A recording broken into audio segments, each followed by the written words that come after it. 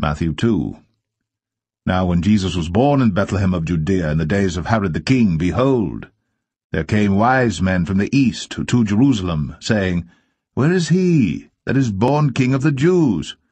For we have seen his star in the east, and are come to worship him.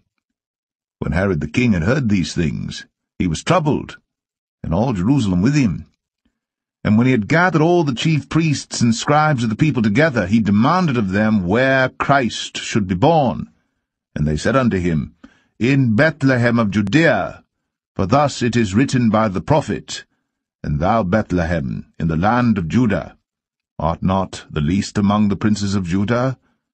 For out of thee shall come a governor, that shall rule my people Israel.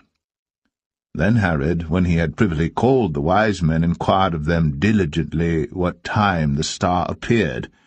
And he sent them to Bethlehem, and said, Go and search diligently for the young child, and when ye have found him, bring me word again, that I may come, and worship him also.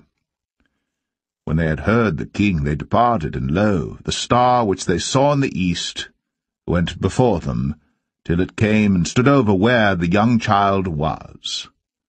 When they saw the star, they rejoiced with exceeding great joy. And when they were come into the house, they saw the young child with Mary his mother, and fell down and worshipped him. And when they had opened their treasures, they presented unto him gifts, gold and frankincense and myrrh. And being warned of God in a dream that they should not return to Herod, they departed into their own country another way.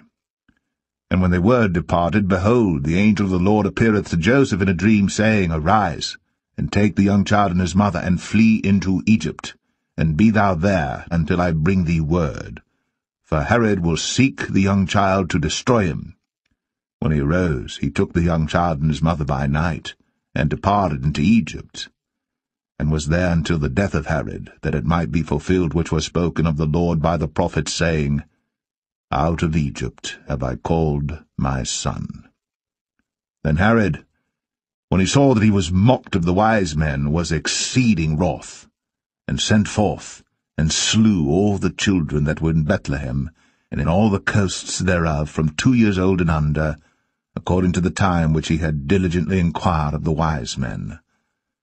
Then was fulfilled that which was spoken by Jeremy the prophet, saying, In Ramah was there a voice heard, lamentation and weeping and great mourning, Rachel weeping for her children, and would not be comforted, because they are not.